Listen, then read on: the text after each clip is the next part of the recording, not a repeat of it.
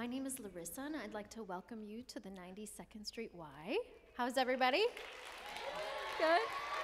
I'm delighted that you're all here. I'm delighted that you can join us for this very special concert. We're going to tell you a story today with music and dancing and some beautiful pictures that children drew about four unbelievable boys and one of the people that I'd like you to meet right away, her name is Olga, and she comes from the United Nations. And they have made a very special surprise that they want to share with you today. So, can you help me welcome Miss Olga from the United Nations?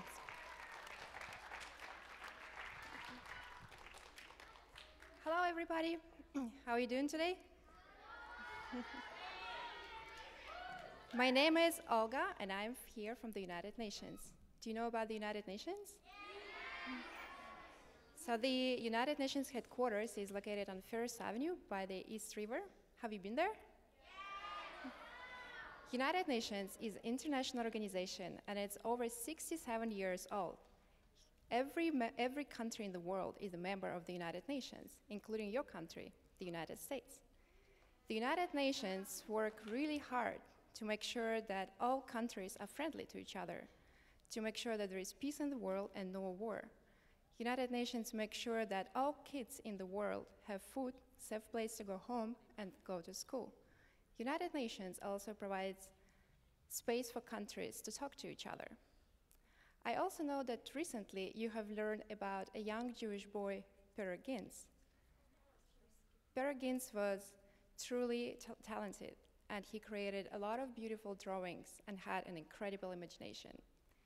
He liked to learn and to dream, and he was incredibly curious, like all of you. And next Wednesday at the United Nations, we're going to show a new animated documentary about life and artwork of Petr Ginz. And I invite all of you to come next Wednesday to the United Nations with your families to watch this documentary. And I have a surprise for you. Right now, we're going to watch a short, a short trailer about this documentary. Thank you.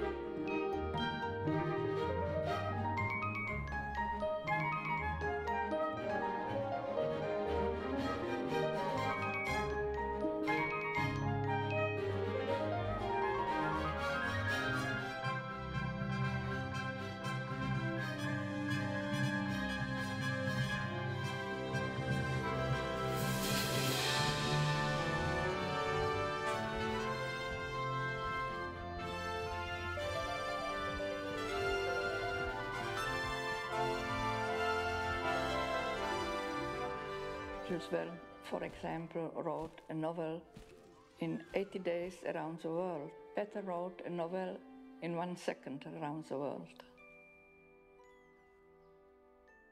Friday, September 19th, 1941. The weather is foggy. Jews were told to wear a badge, which looks approximately like this. When I went to school, I counted 69 sheriffs.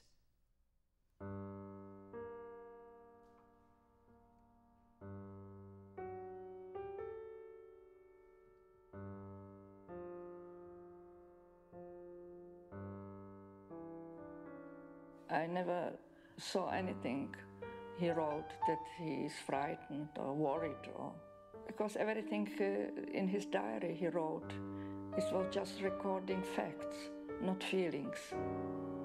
He didn't feel a, a need to record his feelings because his feelings he remembered and the facts he was afraid to forget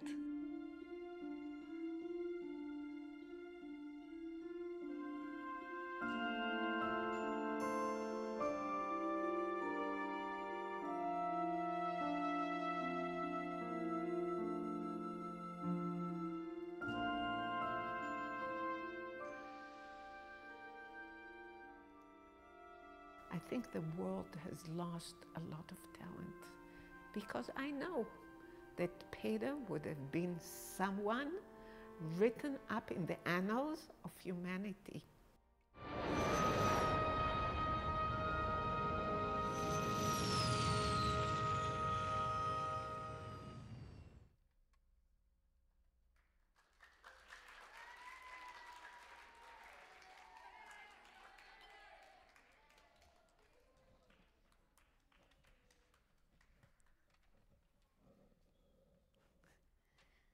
My name is Peter Ginz. I love to write stories, draw, and dream of places far, far away. I am from the majestic city of Prague. But I live in Terezin now, in house L417 in room 1, with 40 other boys who are my age and who I didn't know before I arrived here, but are now my friends. We did not choose to live here, but had no choice. We have a teacher, Walter Eisinger, living with us, and his teaching inspired us to create a secret magazine called Vedem, which means in the lead.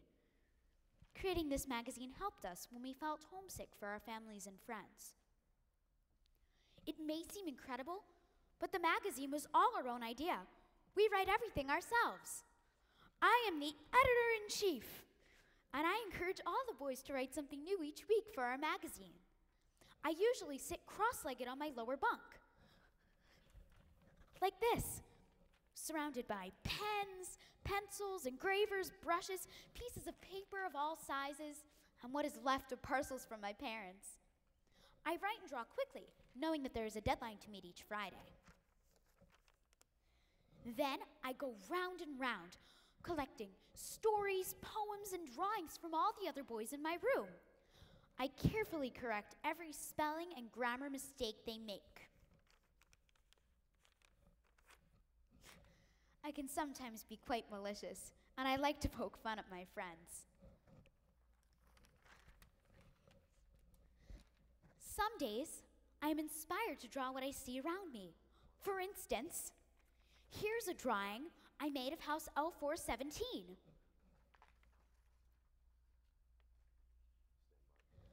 Other days, I dream of going to space and walking on the moon.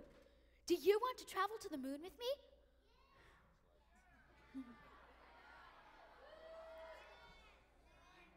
Other days, I express my feelings in words. I love writing poems because I feel I express myself most easily through writing. Well, here's a poem I wrote just last week.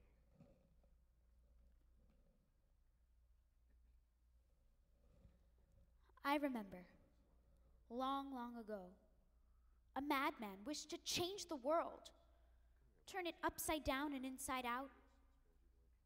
Fill people and youth with one ideal. Take nothing on trust, let nothing stand. Fight for every inch of land. If something is down, then lift it up.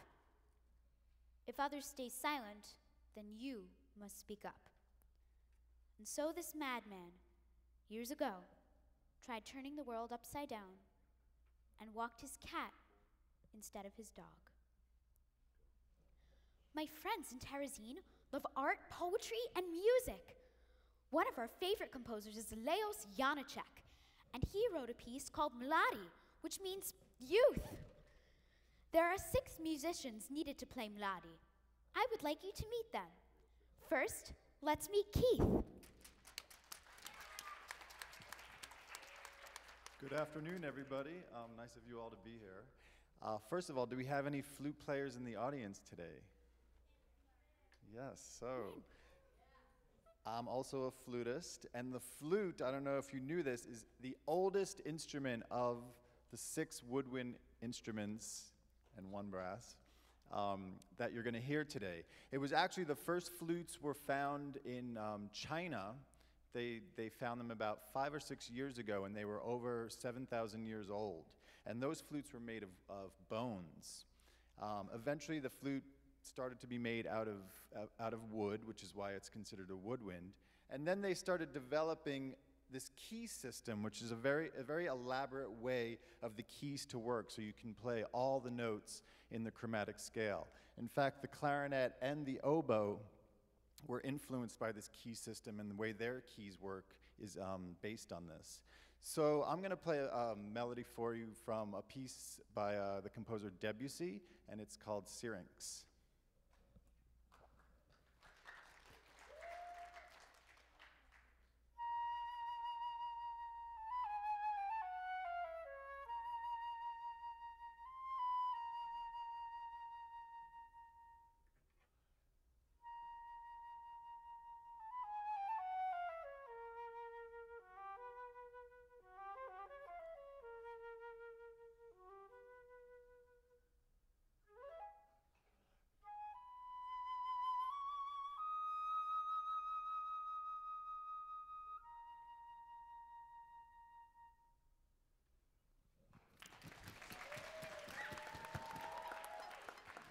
And I have a little family member of the flute player over here called the piccolo. So I'll play a little bit of that same um, melody on this instrument, and you can hear the difference. It might bring out a different character in the music or a different feeling.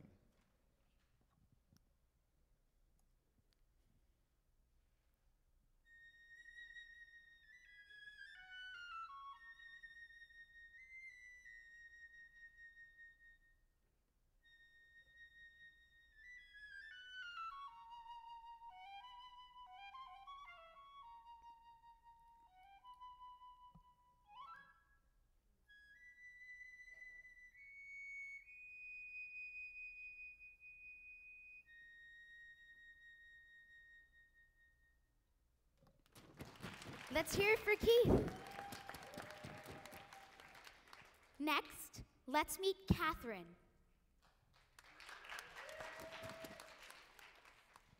Hello, everybody. Does anyone know what instrument this is? Can you just call it out? No, it's not the clarinet. Yes, it's the oboe. Oh, I'm so glad you got it. So the, the way you can always tell the oboe from the clarinet is up here at the top. So up here I have my double reed. I'm going to play it for you. It's not the most attractive noise ever. Um, anyway, I make these reeds out of something related to bamboo, and I have all kinds of machines in my house, and I scrape them into these tiny, tiny little reeds that are about one tenth the thickness of a piece of paper at the top. It takes a long time. Um, anyway, I stick the reed into the oboe. The oboe is made out of wood, like a lot of instruments up here. This is a wood called grenadilla. It comes from South America. Oh, sorry. Um, and uh, the oboe, one of the best things for me about the oboe is that we get to play a lot of great melodies, especially in orchestral music. Um, and a lot of the melodies evoke strange, wonderful places that are very far away.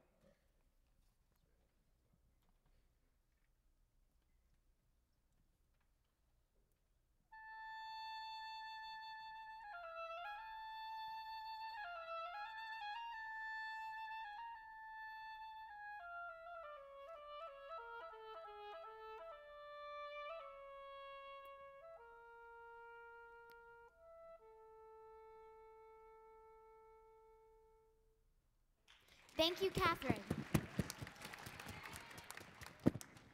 Next, let's meet Igor.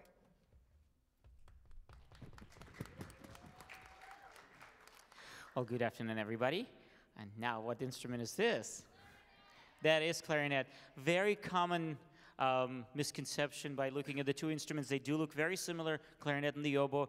And as Katherine explained to you, the difference is in the way the sound is produced. Um, and it's actually quite a significant difference. Uh, Katherine uh, told you about her double reed. Clarinet, on the other hand, has a single reed. Um, it's also made from a similar bamboo related material, except it's only one piece um, of that material that uh, is very thin at the tip. And in order for this piece to vibrate, it, is, it gets placed against the top part of the clarinet, which is called a mouthpiece. What also makes it very interesting, um, Keith and I sit on the opposite sides of this group. And Keith mentioned that his instrument is uh, perhaps one of the oldest, if not the oldest, woodwind instrument. Well, clarinet happens to be the youngest woodwind instrument. It, the instrument itself, as we know, it has only been around for maybe a couple of hundred years or so, which seems like a lot of time, but it's not very long if you think of 7,000 years in history of flute. Uh, clarinet is made out of grenadilla wood, and um, uh, the quality of the wood is that it's very, very hard. And the, when the piece gets taken from the wood, they still, uh, the, the makers of the instruments, they still don't make the instrument right away. They actually have to age it to make it even harder. And what makes clarinet uh, very special, it's a very versatile instrument uh, that it could be a member of many different kinds of musical groups, uh, and that includes band, um, uh, jazz, uh, some kind of jazz ensemble, uh, klezmer, or any kind of folk group, and of course, naturally, classical music, be it chamber music or an orchestra. What makes clarinet um also very special is its sound, which is very sweet and very sensitive. And I'll play a little short excerpt that demonstrates that.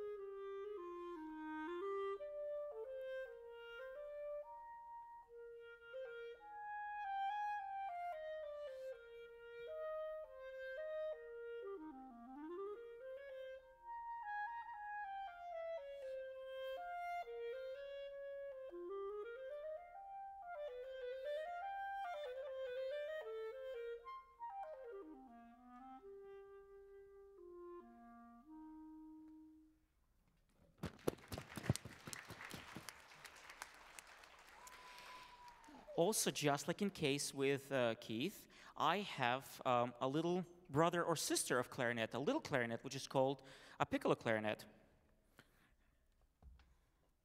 Now, what makes this instrument special, even though it's a member of a, of a family of instruments that are supposed to produce very sweet and uh, um, very um, soft sounds, this instrument is actually used for very funny music. And a lot of times it is used just like somebody who is going like this and kind of trying to make fun of uh, other instruments.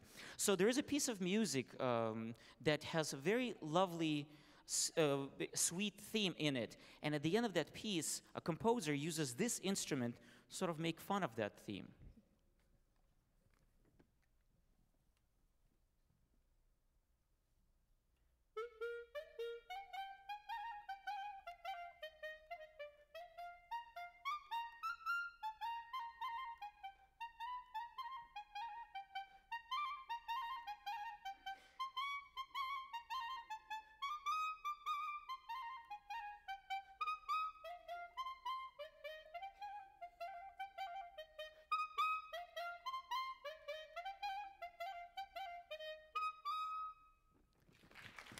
Thank you, Igor. Next, we're going to hear from Christopher. Hi, everybody. Who can tell me what this is? Nope. Nope. Oh, I heard a correct answer from the little girl in the second row. This is a bass clarinet. It's just like Igor's clarinets, but bigger and deeper. I can play pretty high.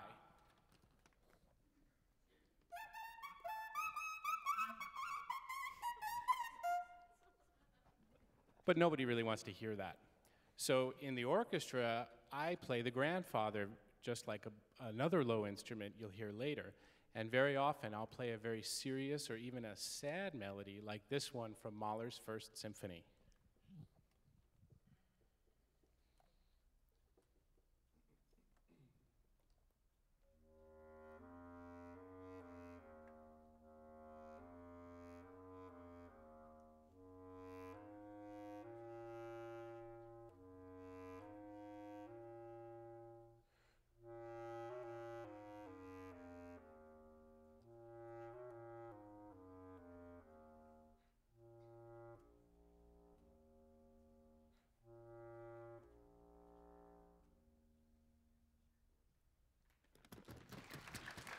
Thank you, Christopher. Now, let's meet Michael. Hey, everybody. Want to tell me what this is? Very good. I'm so glad that I did not hear all of you say the tuba. That's really insulting, actually. Um, so, you may be wondering why a brass instrument is up here with a bunch of beautiful woodwind instruments. Um, the answer is that the French horn is very special in that its character of sound is mellow enough that it can blend very easily with string instruments. The French horn was born as a signaling instrument and was meant to be played outdoors and start off playing very simple things like this.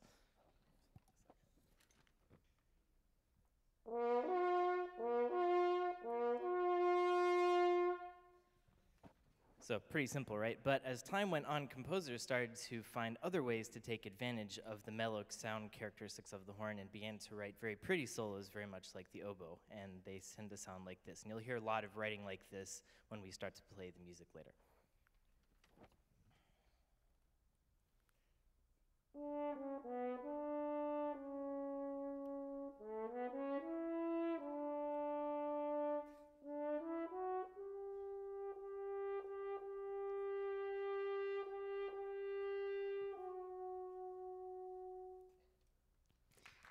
Thank you, Michael.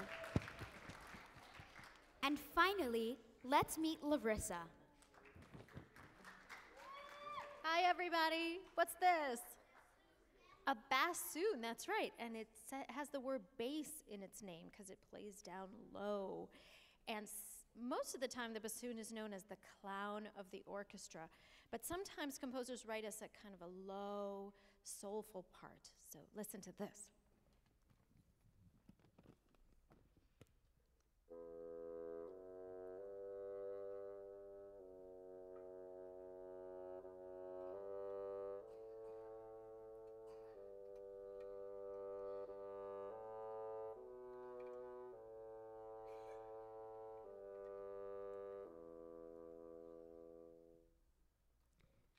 Thank you, Larisa.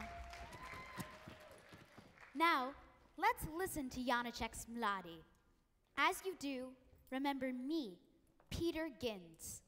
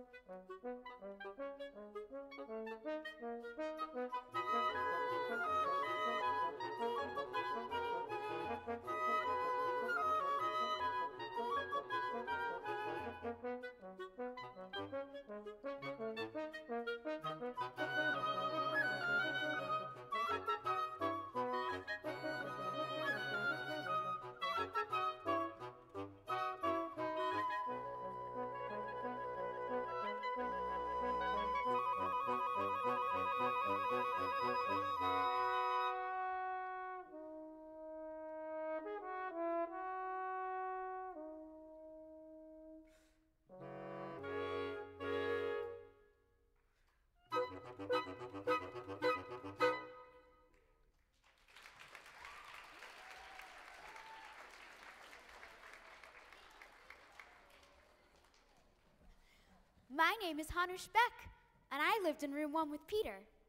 I am an actor and a comedian, and people think of me as a star here in Terezin. I can stand alone on stage for 10 minutes and entertain and amuse the audience. Hey, why couldn't the pony sing? Because he was a little horse. Get it? My friends from room one come to see me and other performers after dinner in cabarets, plays, recitals, and concerts. Here is another performance they saw, another piece by Janacek called March of the Blue Boys.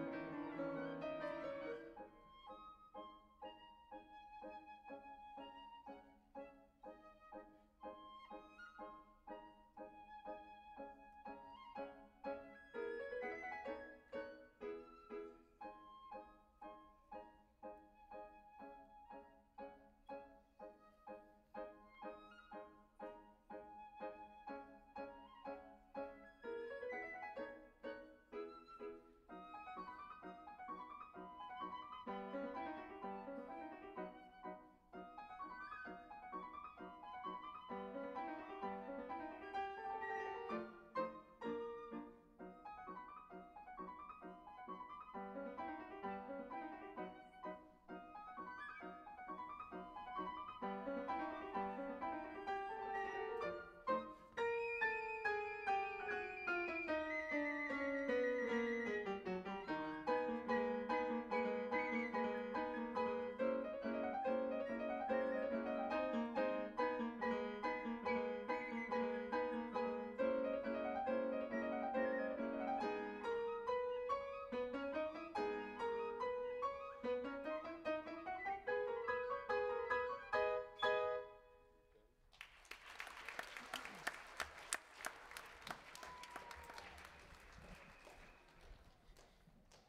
other actors and I rehearse in the freezing temperatures in the attic, where the wind whistles and howls. When our shows are ready for performance, we give out tickets. At our last performance, 300 tickets were given out, but 900 people showed up. We gave our best performance ever, and the audience gave us a grateful applause. Many musicians live here in Terezin, including another composer, Pavel Haas. Listen to this playful, colorful piece by Pavel Haas for Woodwind Quintet. Keep your ears open for playful sounds, and as you do, remember me, Hanush Beck.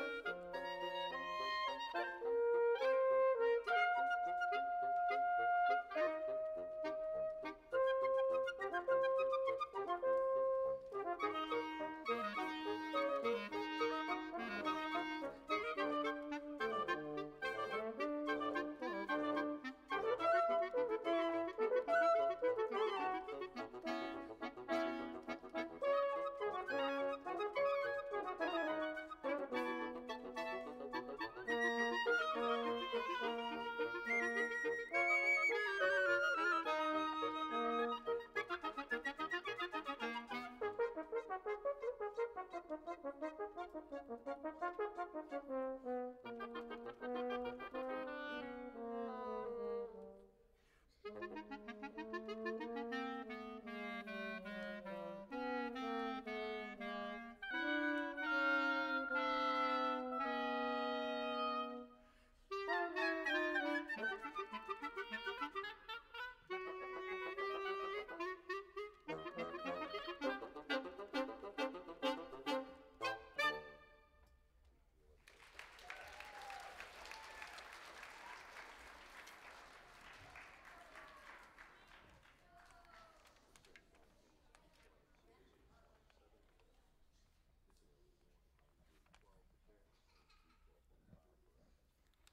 My name is Hanush Hachenburg, and I am a poet.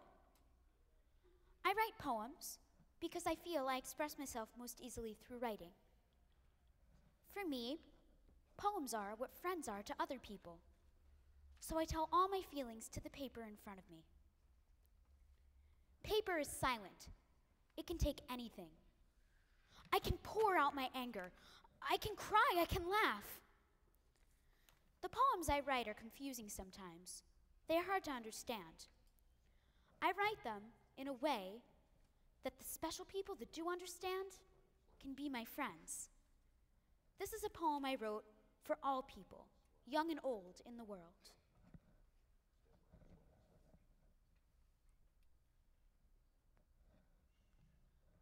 We are children, little ones, playing with a colored ball.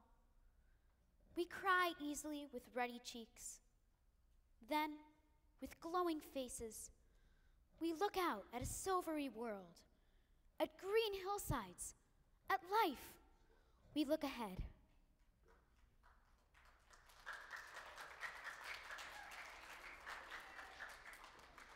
My friends in room one think I'm a little odd sometimes, my head in the clouds. I'm not the biggest, fastest, or strongest boy in room one, but I am a dreamer. I dream of a better world. Remember me, Hanush Hachenburg.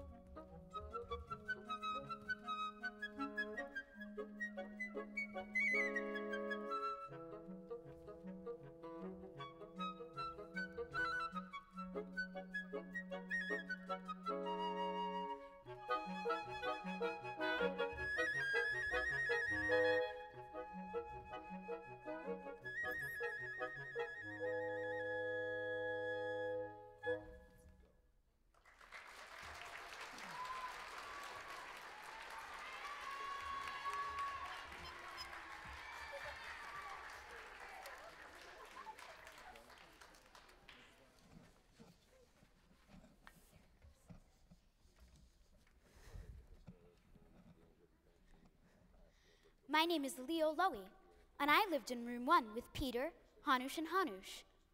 I was the only one of the four boys to make it to America.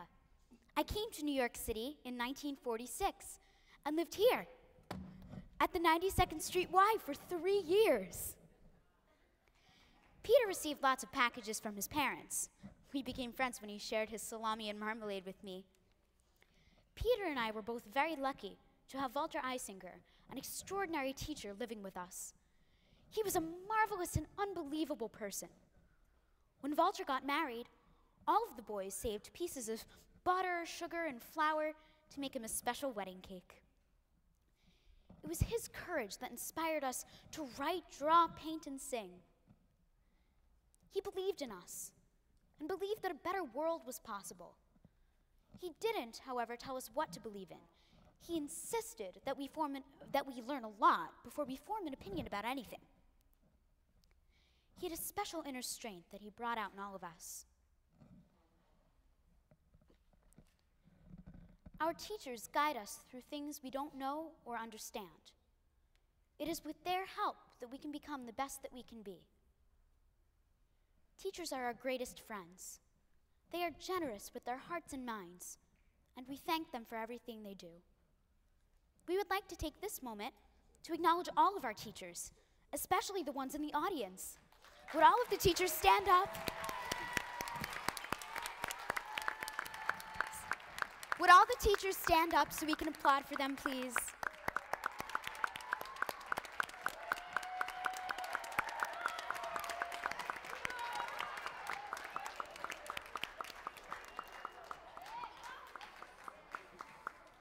And I'm very pleased to say that we are honored to have a really special guest with us. Leo Lowy, who lived with Peter, Hanush, and Hanush and survived the Holocaust, is sitting right there. Would you please stand up so we can acknowledge you?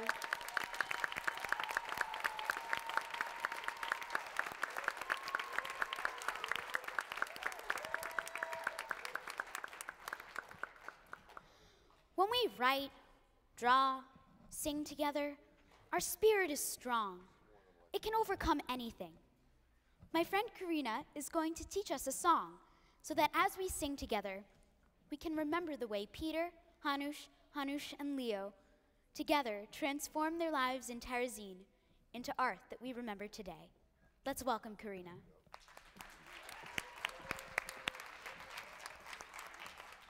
And because we're going to sing it together, let's make sure that the person that is sitting beside you, by your side, is ready to sing. Go with a high five. And let's do it.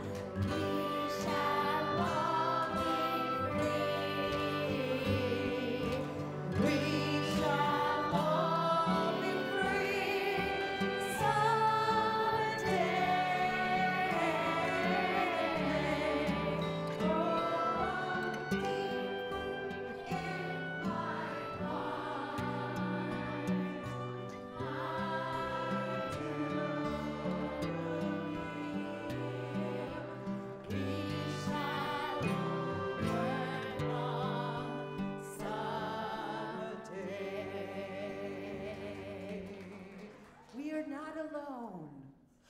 We are not